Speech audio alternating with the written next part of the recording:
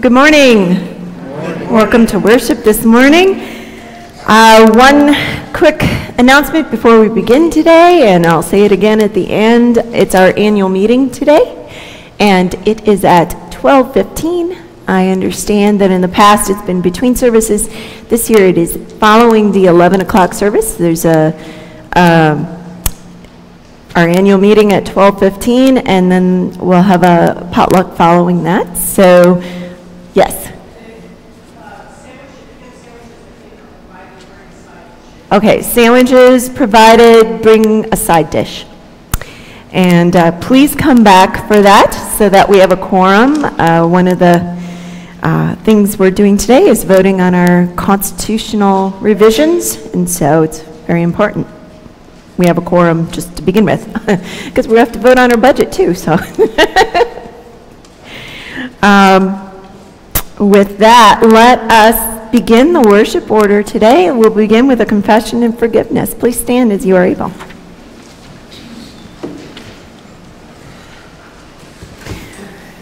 Blessed be the Holy Trinity, one God, who stretches out the heavens, who sends light to the nations, who gives breath to us all.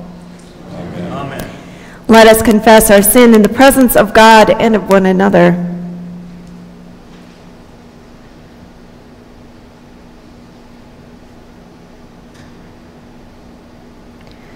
Loving God, we confess that we have turned from your way to follow our own ways.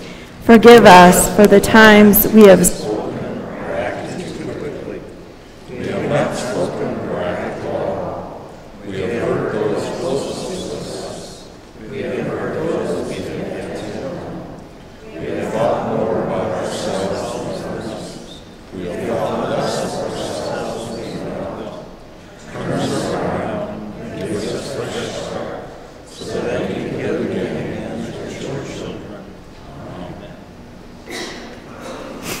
Even when we have done wrong, God makes us right. Even when we have messed up, God puts us together. God's love never runs out. God never tires of calling us beloved children. Hear God say to you now that your sins are forgiven for the sake of Jesus Christ, our Lord. Amen. The peace of the Lord be with you. Also with you. Take this time now to share the peace with one another.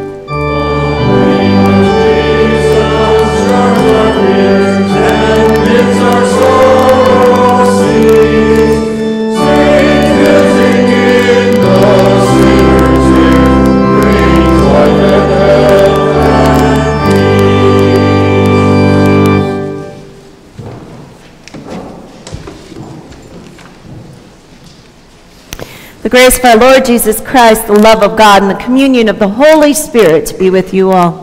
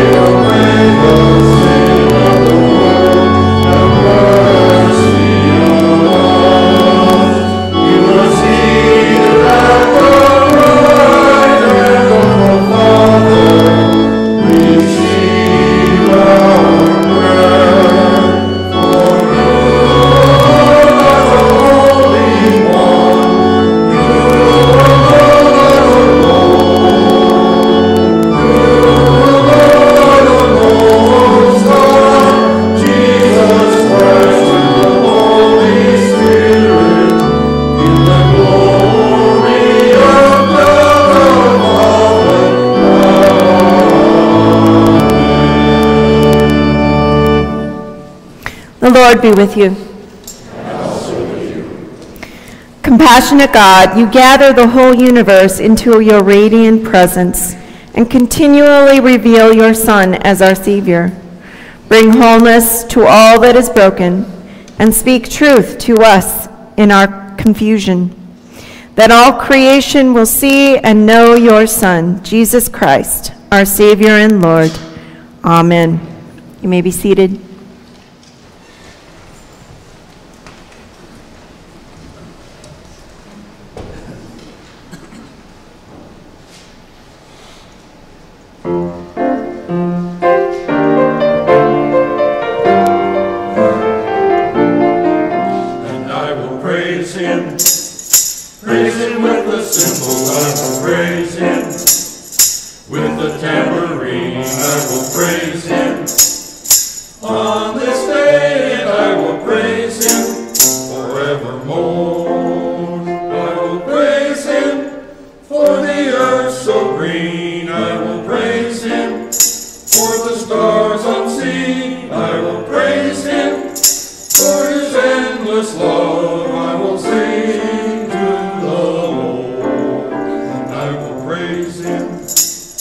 Praise him with the cymbal, I will praise him.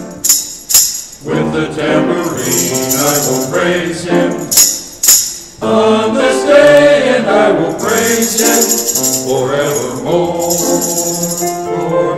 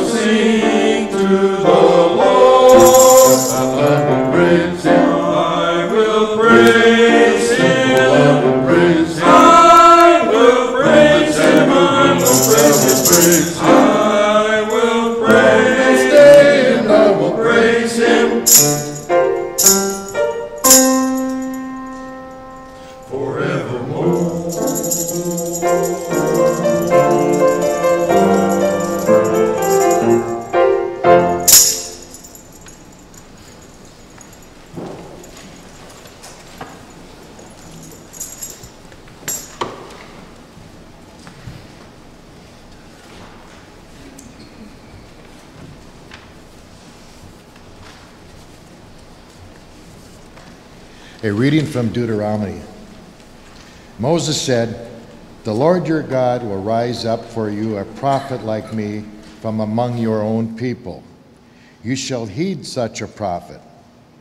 This is what you requested of the Lord your God at Horeb on the day of the assembly when you said, If I hear the voice of the Lord my God any more, or ever again see this great fire, I will die. Then the Lord replied to me, They are right in what they have said. I will raise up for them a prophet like you from among their own people. I will put my words in the mouth of the prophet, who shall speak to them everything that I command. Anyone who does not heed the words that the prophet shall speak in my name, I myself will hold accountable. But any prophet who speaks in the name of other gods, who or who presumes to speak in my name a word that I have not commanded the prophet to speak, that prophet shall die. The word of the Lord.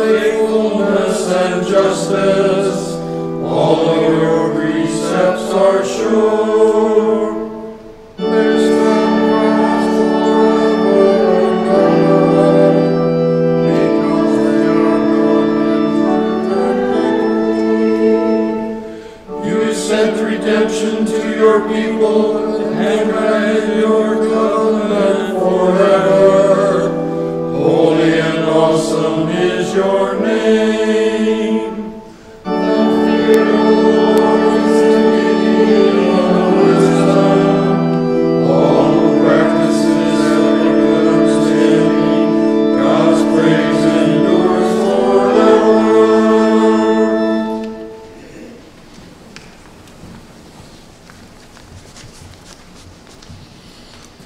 A reading from 1 Corinthians. Now concerning food sacrificed to idols, we know that all of us possess knowledge. Knowledge puffs up, but love builds up. Anyone who claims to know something does not yet have necessary knowledge, but anyone who loves God is known by him. Hence, as to the eating of food offered to idols, we know that no idol in the world really exists and that there is no God but one. Indeed, even though there may be so called gods in heaven or on earth, as in fact there are many gods and many lords, yet for us there is one God, the Father, from whom all, are all things and for whom we exist, and one Lord Jesus Christ through whom all things and through whom we exist. It is not everyone, however, who has this knowledge, since some have become so accustomed to idols until now, they still think of the food they eat as food offered to an idol, and their conscience being weak is defiled. Food will not bring us close to God. We are no worse off if we do not eat, and no better off if we do. But take care that this liberty of yours does not somehow become a stumbling block to the weak. For if others see you who possess knowledge eating in the temple of an idol, might they not, since their conscience is weak, be encouraged to the point of eating food sacrificed to idols? So by your knowledge, those weak believers for whom Christ died are destroyed. But when you thus sin against members of your family and wound their conscience when it is weak, you sin against Christ. Therefore, if food is a cause of their falling, I will never eat meat, so that I may not cause one of them to fall. The word of the Lord.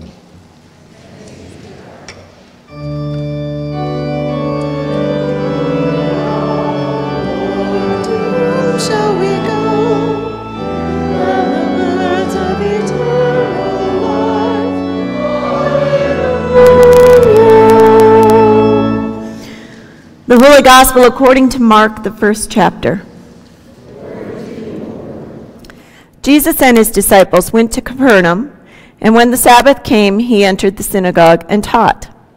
They were astounded at his teachings, for he taught them as one having authority and not as the scribes. Just then there was in the synagogue a man with an unclean spirit, and he cried out, What have you to do with us, Jesus of Nazareth?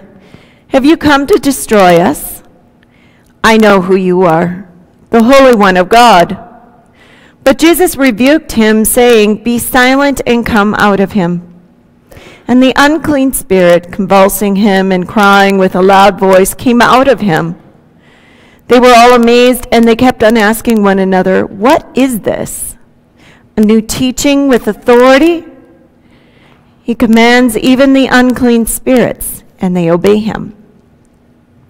At once his fame began to spread throughout the surrounding region of Galilee. The Gospel of the Lord. May be seated, and I invite the kids to come forward for children's message.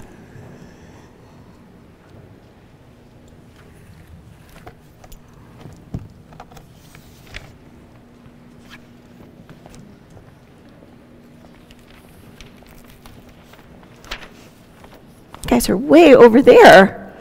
I didn't bring my little stool, otherwise, I would have moved to you.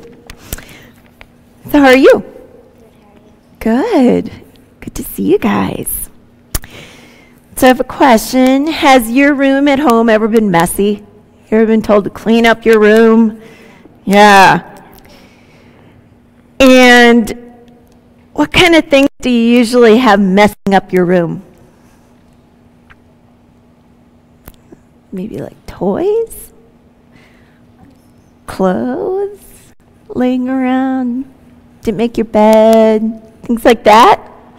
Yeah. Well, we have messes at home. Um, do you ever see those type of messes here in, in this sanctuary? Is this ever messy? Now, it looks pretty clean most of the time, doesn't it? Yeah. Well, just like we have messes at home, we also can have messes inside us. A lot of times, um, we think we're supposed to clean up those messes um, before we come here, and uh, or hide it so that uh, everything looks clean and uh, and no one sees the messy that we feel inside. But today's scripture um, is about a man who lets his messiness inside show to the whole congregation. He's sitting in the in the church like this, and Jesus is preaching, and in the middle of it, worship, he just lets everybody know, and what they call it in this is an unclean spirit. But basically, he's just letting all his secrets out. And Jesus doesn't get mad or upset with him at all. He just helps the person. And so, even though sanctuary is always clean, you don't have to think that you have to be clean inside to come to church. And actually, if we share more of what's messy inside of us, um, that's what church is for, to, to help each other um, clean that up together. And so that's our message for today. The good news that Jesus gave us is that um, we can come if we're feeling messy inside and don't have to clean up our mess before we come to church and before we share that with each other. So let's pray. Repeat after me prayer. Dear God, thank you for Jesus who shows us how to receive and share your healing love, even when things are messy. Thank you and amen. All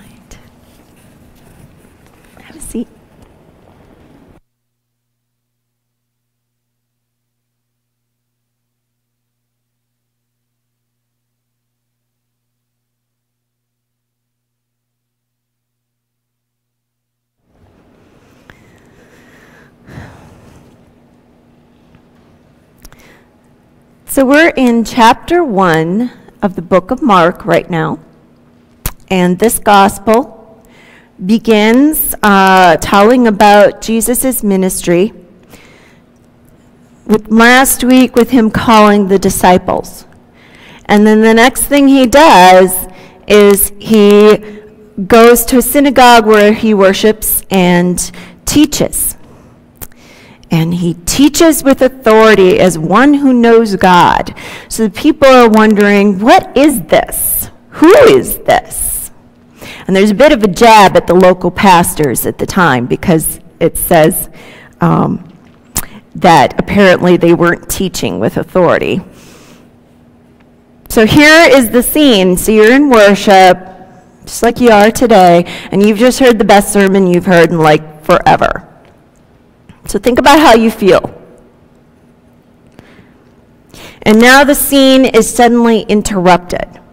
And one of you sitting kind of mid back stands up and in a loud voice declares that you know exactly who your preacher is today, their true identity.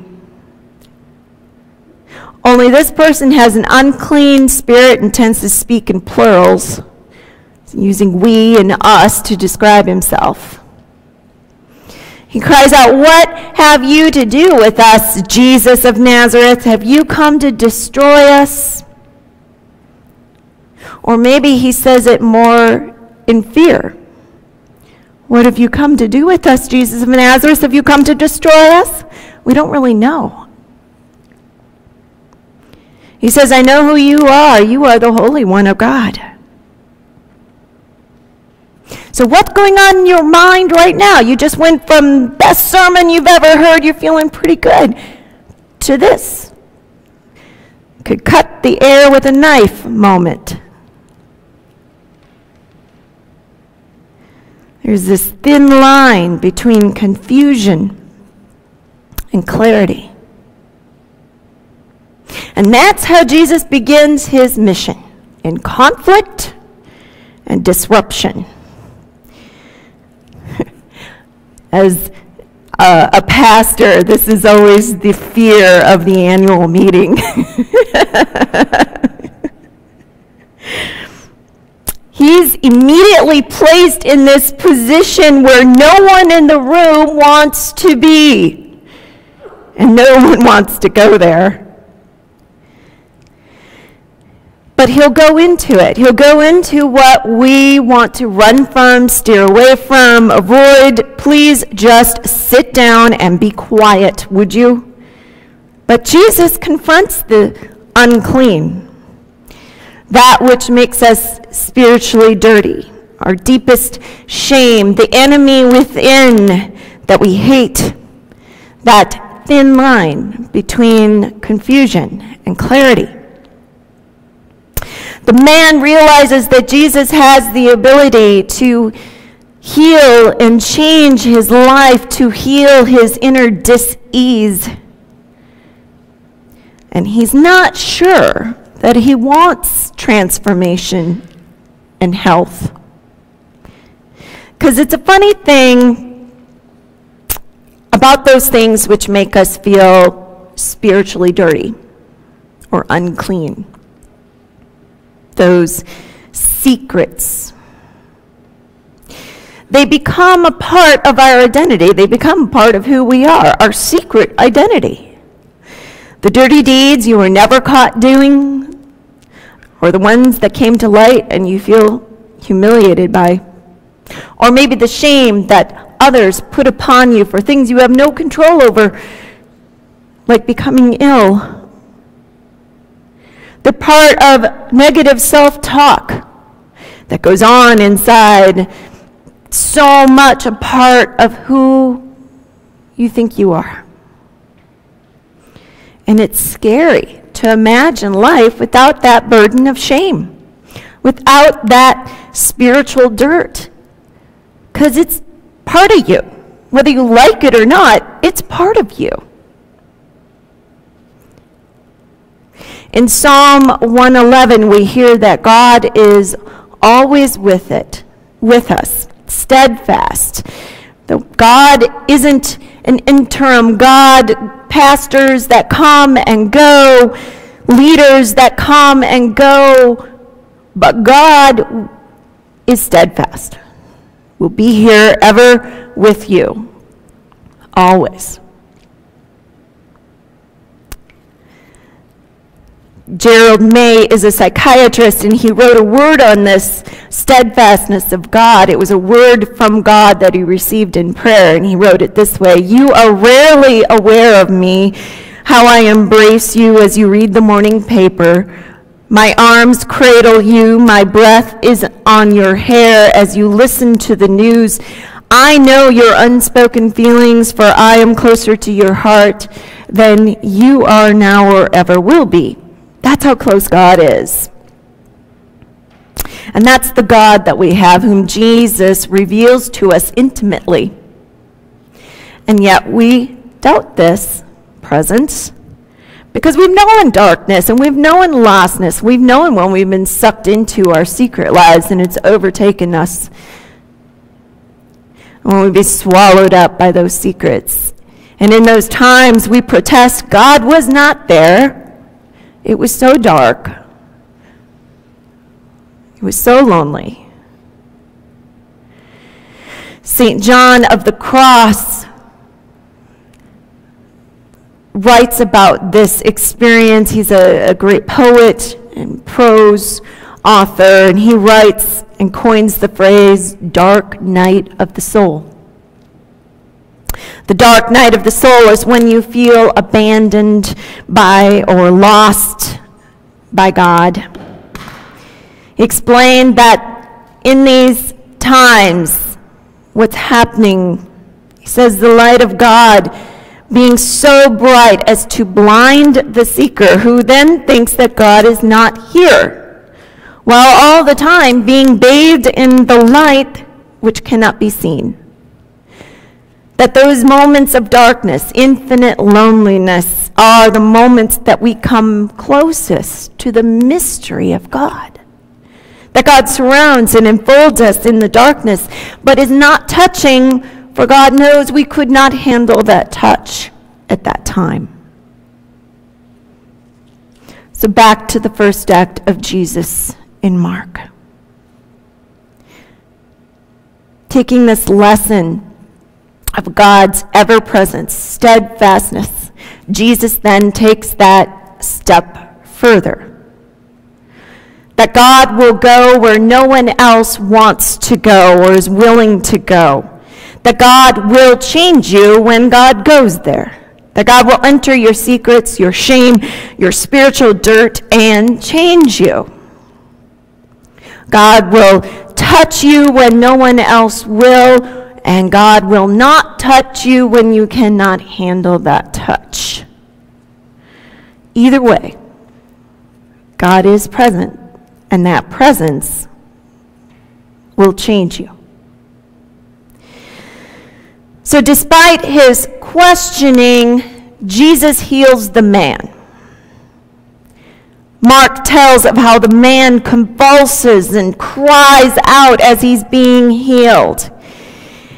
And that's the thing. Sometimes change for the better, radical change, is not always pleasant. It's not always accepted. It's difficult. For you're changing your identity. And that requires courage. There's a familiar quote by Martin Luther.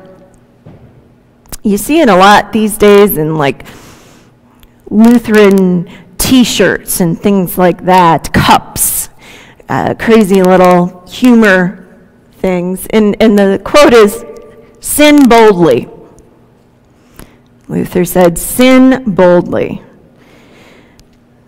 What that statement comes from is that Luther is acknowledging that sin is a part of our daily lives. We can't help but sin. If we wait to act until we are without sin, then we'll never ever do anything to help anyone or help ourselves because we're in this catch 22. We cannot act until we have not sinned, then we will not act at all.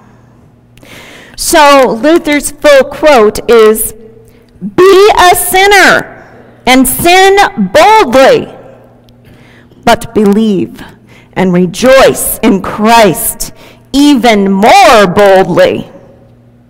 For he is victorious over sin and death and the world. So, as long as we are here in this world, we have to sin. This life is not a dwelling place of righteousness. In Mark's gospel, Jesus' first act is to reclaim this man. Jesus reclaims us. Salvation is a relationship, relationship with God, who is always present and steadfast, as we hear in Psalm 111, and who goes into our messes, who sheds light in our darkness upon our secrets that we want to keep ourselves down with. And when that happens, we are changed. And that's salvation. That's salvation. And that's the kind of God we're dealing with. Jesus is willing to cross boundaries, all boundaries, even the boundaries of sin and death, in order to bring good news and to bring life. That is his mission. I have come to bring them life, life everlasting. And God is constantly working, shaping, forming, shifting, stirring us. God changes us. Acknowledge our brokenness. Where do you hide your spiritual dirt and come clean? Be courageous, sin boldly. Believe and rejoice in Christ even more boldly. And then share the peace with one another. This peace, the peace of God with us always, the peace of Christ who crosses boundaries to bring life, the peace of our chaos being changed, the peace of a new identity, the touch of peace. I close my meditation this morning by sharing a poem that I found in a newsletter, church newsletter. It's about sharing the peace, the time in our worship service in which I invite you to share the peace with one another. Now, I've been here long enough to know that someone's going to get stuck on the idea of sharing the peace, the literal idea. How do you do it? Do you shake with a hand? Do you give a kiss? Do you hug? Do you just make a peace sign? Do you make a bow? What is the right way to share the peace? And getting stuck in that, that's an example of weak sin, right? We're to sin boldly. So don't wait until you figure out what's the right way to share the peace. Sin boldly. Whether you know what the right way or not, share the peace. And you'll see why in this poem. We share the peace because Christ crossed the boundaries of death to give us life. That we may share the peace in a handshake or a hug or a kiss or a simple nod of the head. So, hear this deeper message the message of a touch of peace, whether literal or figurative. How Christ is with you will go into your secret life and change you. So here's the poem. What is all this touching in church? It used to be A person could come to church and sit in the pew and not be bothered with all this friendliness. And certainly not by touching. I used to come to church and leave untouched. Now, I have to be nervous about what's expected of me. I have to worry about responding to the person sitting next to me. Oh, I wish it could be the way it used to be. I could just sit and ask the person next to me, How are you? And the person could answer, Oh, just fine. And we'd both go home strangers who have known each other for 20 years. But now, the minister asks us to look at each other. And I'm worried about the hurt look that I saw in that woman's eyes. And now I'm concerned because when the minister asked us to pass the peace, the man next to me held my hand so tightly I wondered if he had been touched in years. And now I'm upset because the lady next to me cried and apologized and said it was because I was so kind and that she needed a friend right now. And now I have to get involved. Now I have to suffer when my community suffers. Now I have to be more than a person coming to observe a service.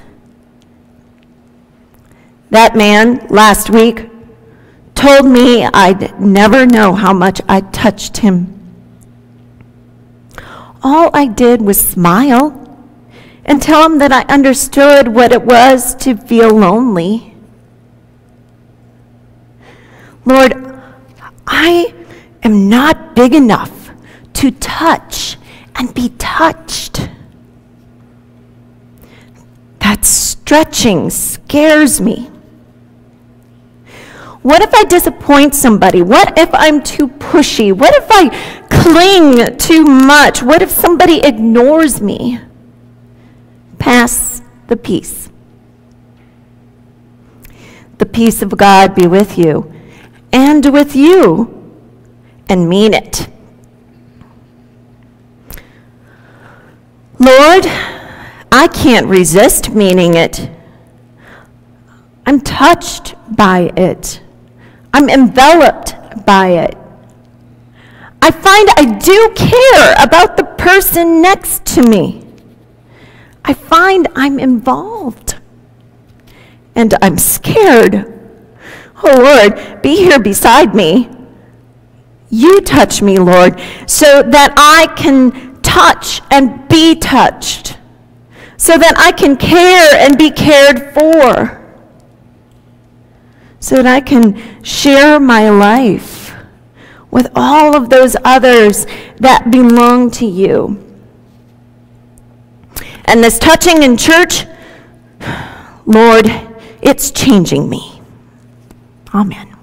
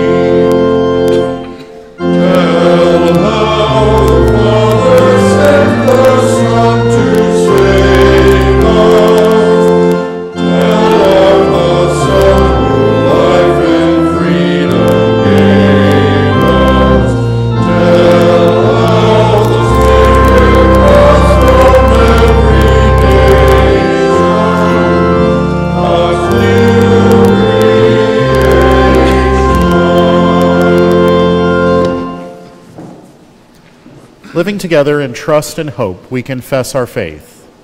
I believe in God the Father Almighty, creator of heaven and earth.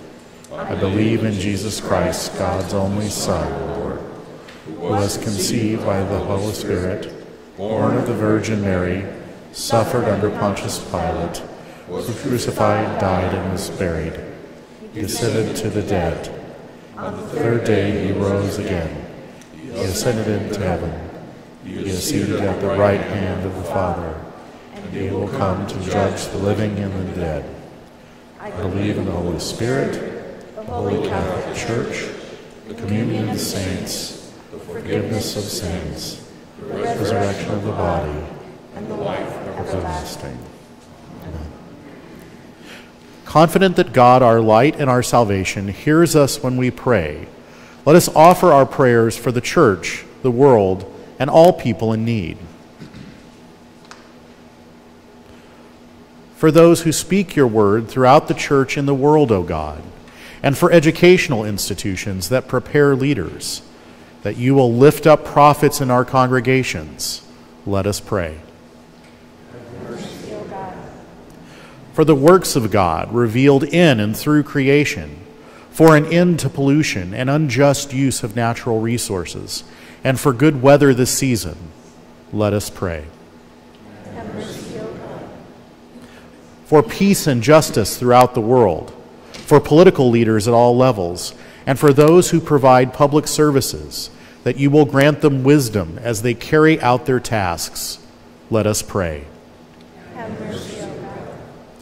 For the homeless, the unemployed, the underemployed, and their advocates, for the sick, the suffering and their caregivers, and for the weak in body, mind, and spirit, especially Greg McKinley, that your compassion may be felt by all in need, let us pray.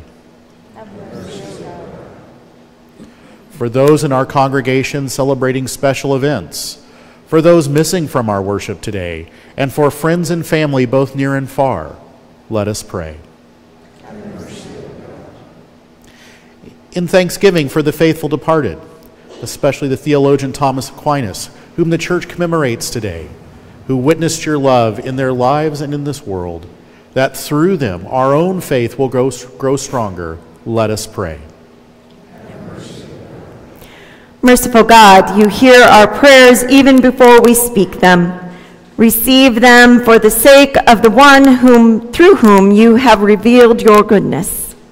Jesus Christ, our Savior and Lord. Amen. You may be seated for this time of sharing of the gifts.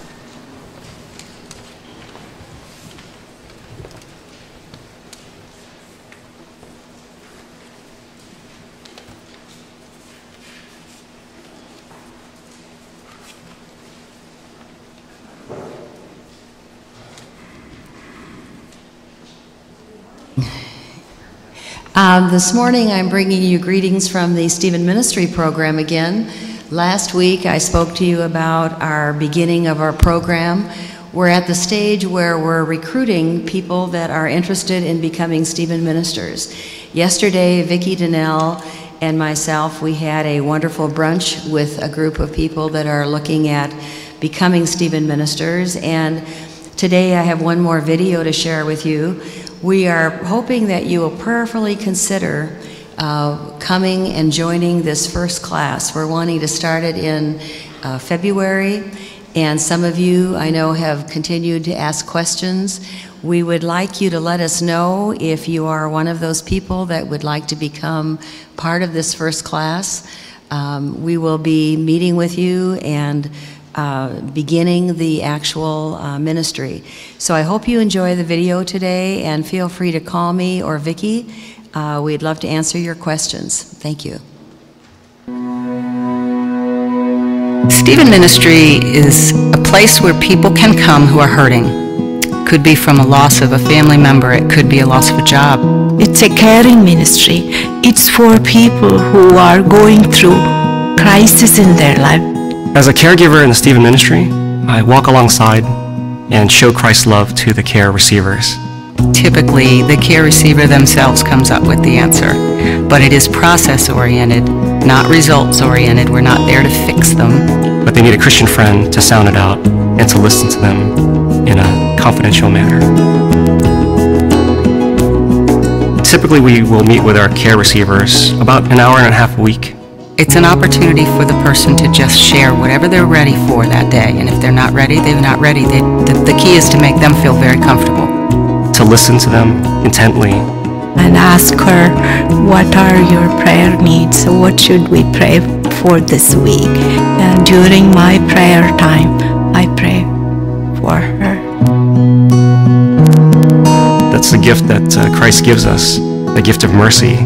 No one likes to go through pain alone. And it's a good opportunity to lead them to Christ if they're not already or to strengthen their walk. We are the caregiver, and Christ is in the center as the caregiver in all the situations.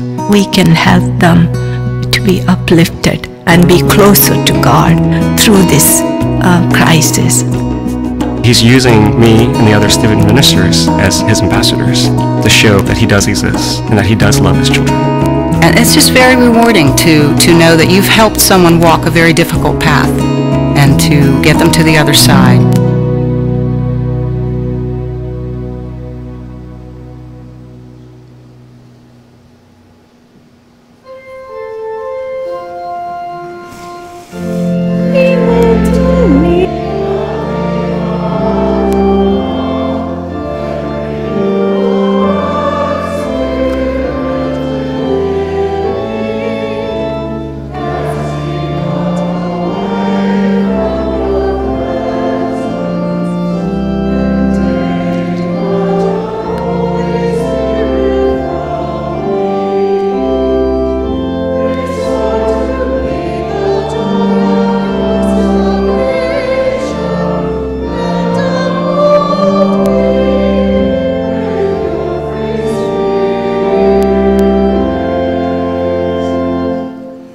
Merciful God, receive these gifts we bring, ourselves, our time, and our possession.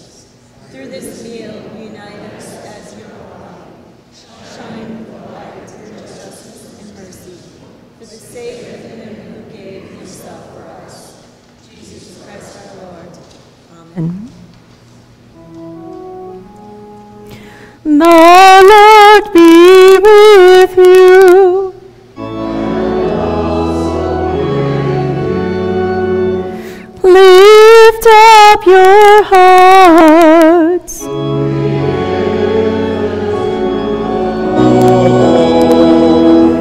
Let us give thanks to the Lord our God.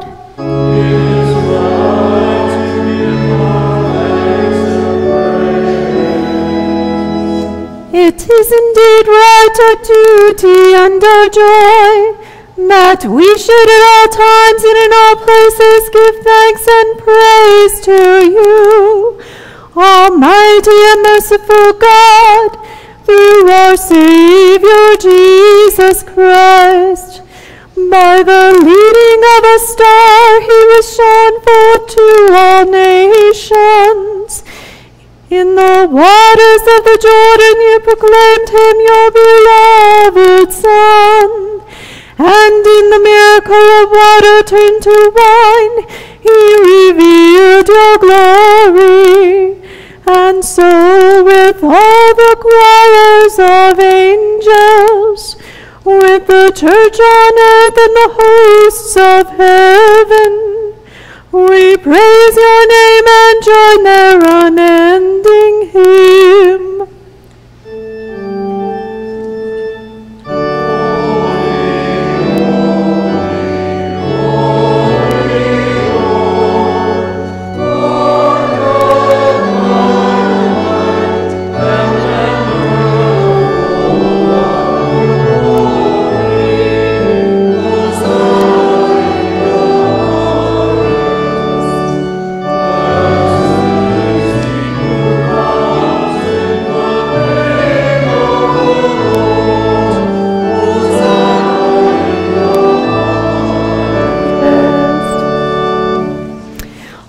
Mighty and merciful God. Heaven and earth are full of your glory. In great love, you sent to us Jesus, your Son, who reached out to heal the sick and suffering, who preached good news to the poor, and who on the cross opened his arms to all. In the night in which he was betrayed, our Lord Jesus took bread, blessed it, broke it, and gave it to all to eat, saying, Take and eat. This is my body given for you. Do this for the remembrance of me. Again, after supper, he took the cup, blessed it, and gave it to all to drink, saying, Take and drink. This cup is the new covenant of my blood, shed for you and for all people for the forgiveness of sin. Do this for the remembrance of me. Remembering, therefore, his death, resurrection, and ascension, we await his coming in glory. Pour out upon us the spirit of your love, O Lord, and unite the wills of all who share this heavenly food the body and blood of Jesus Christ our Lord, to whom with you and the Holy Spirit be all honor and glory, now and forever. Amen. Lord, remember us in your kingdom and teach us to pray. Our Father in heaven, hallowed be your name. Your kingdom come, your will be done, on earth as in heaven. Give us today our daily bread. Forgive us our sins, as we forgive those who sin against us. Save us from the time of trial, and deliver us from evil. For the kingdom, the power, and the glory are yours, now and forever.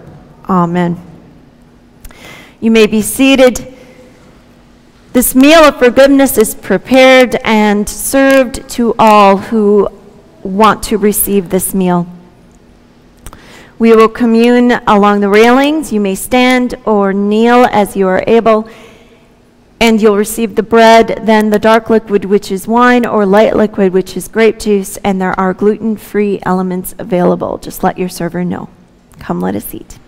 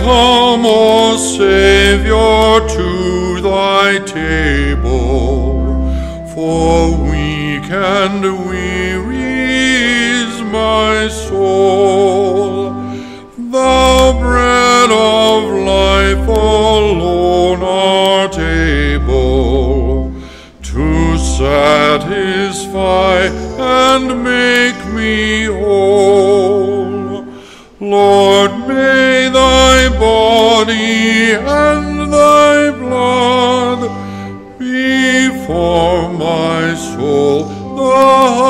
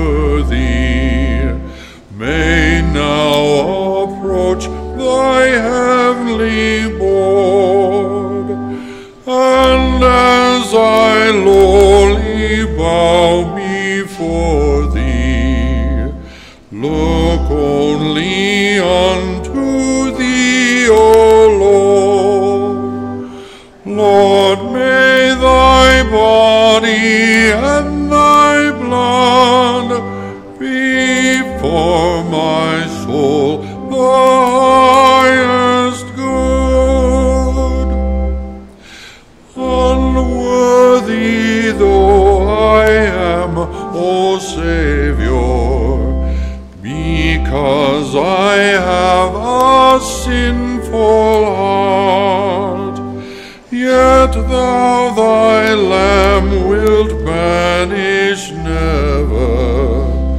For thou my faithful shepherd art. Lord, may thy body and thy blood be for my soul highest good. Oh, let me loathe all sin forever, as death and poison to my soul, that I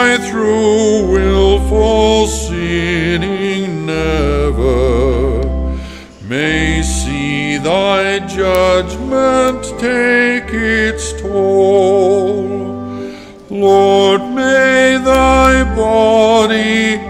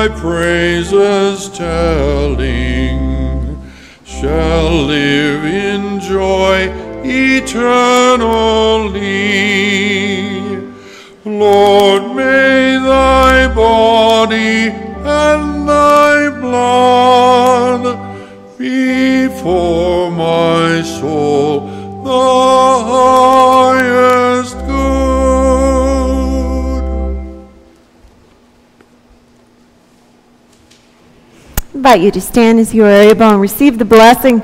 The body and blood of our Lord Jesus Christ strengthen you and keep you always in his grace. Amen.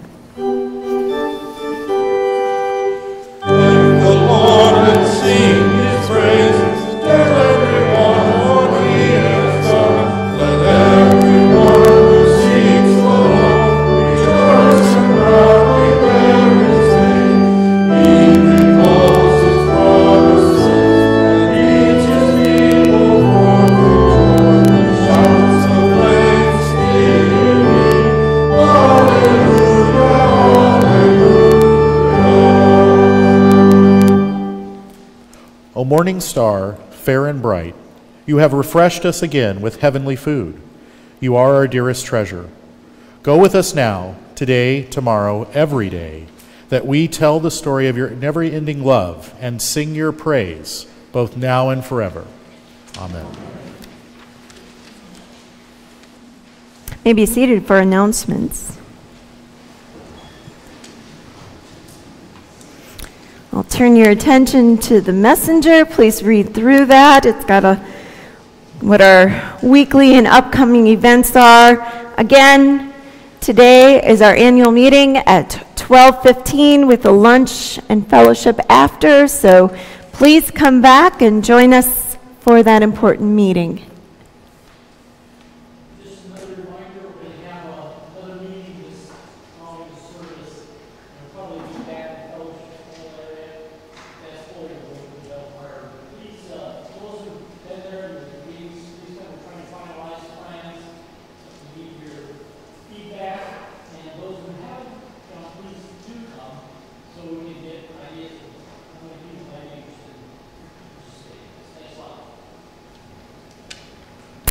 There's also a Camp Tomah Shinga informational meeting today at 10, and it'll be over by the Fellowship Hall. So uh, please come to that if you'd like to learn more about camp this summer. With that, let us uh, please stand and receive the benediction. The God of glory dwell in you richly. Name you beloved and shine brightly on your path. And the blessing of Almighty God, in the name of the Father and of the Son and of the Holy Spirit, be upon you and remain with you always. Amen.